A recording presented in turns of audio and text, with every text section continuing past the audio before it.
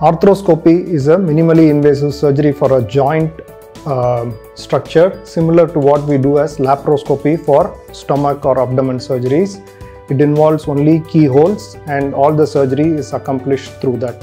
Most of the arthroscopic surgeries for the shoulder and knee are done as daycare procedures. Most of the patients get discharged on the same day. The recovery process generally depends on what is done inside, but this is generally a keyhole surgery and not very invasive. Thank you.